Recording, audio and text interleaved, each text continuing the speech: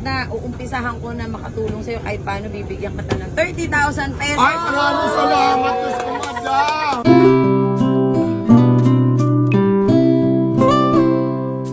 Nagkikiusan talaga. mm. May pera na ako, may pandagdag na ulit akong puhunan. Pasalamat tayo kay Ma'am Mara Tamundong. Nandito ngayon nilibre lang tayo yung first 140, 40 na overload tapos 100 na chicken. Hindi po kayo magbabayad dahil babayaran ni Ma'am Mara Tamundong.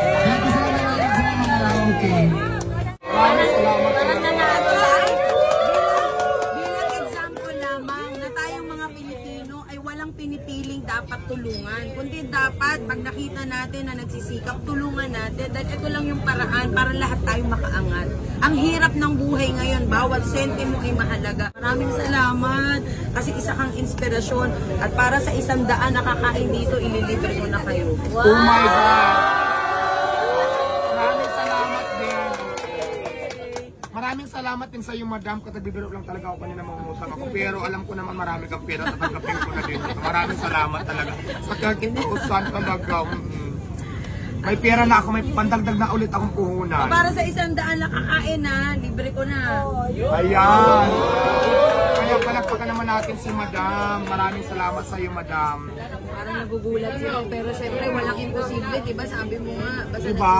Kaya yun ang sinasabi ko na dapat magtulungan tayo, wag maghilaan. Si Madam tinulungan ako. Sana ganun din kayo, tulungan nyo din yung iba, kapwa natin na talaga lumalaban naman ang patas sa pamamaraan, di ba? Kaya maraming salamat sa iyo, Ma'am Mara. Appreciated ko po yung effort mo at siyempre yung tulong mo po sa akin.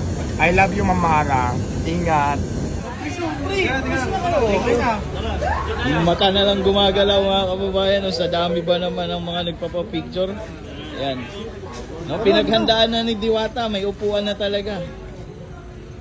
May ano na tayo, photo booth.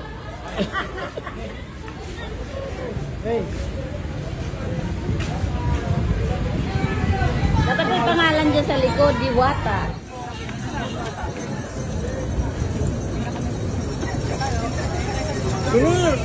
Hey,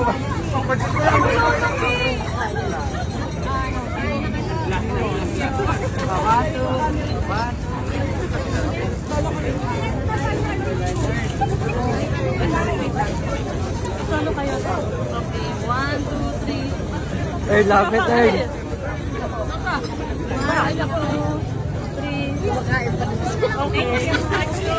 Yun na, meron pa. Bago na, meron pa.